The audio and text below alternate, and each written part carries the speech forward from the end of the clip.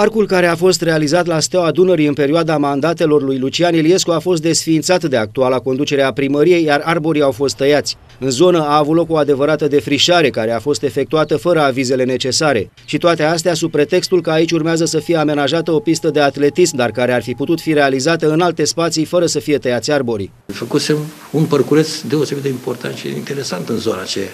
Ca să ne trezim astăzi că am tăiat pomii aia, fără aviz, fără nimic, pe e pământ în Giurgiu, chiar în zona aia, suficient să nu tăiem niciun pom și să facem acest lucru, dacă este o preocupare. Lucian Iliescu a dat și alte exemple care arată că banii administrației municipale sunt cheltuiți fără eficiență. Unul dintre exemple se referă la dezafectarea gărdulețelor de pe marginea șoselei București, lucrare executată anul trecut. După un an au fost montate alte gărdulețe.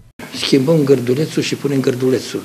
Deci iar niște lucruri care nu și-au sens. Păi ne, ne văităm că nu avem bani și când noi ce facem? Aruncăm bani? Eu nu sunt un om care să mă ocup de reclamații, dar în orice caz, acel metal care a fost folosit pentru aceste gărdulețe, unde se află? Unde se mai află gărdulețele astea? Dar trebuie să gândim foarte bine cu banii cum, că văd că se vaită domnul Barbu, nu-s bani, că nu-s bani, nu-s bani. Ei, eu, dacă vrea dânsul să discutăm, hai să punem pe masă, pentru că oamenii trebuie să cunoască foarte clar vis-a-vis -vis de bani.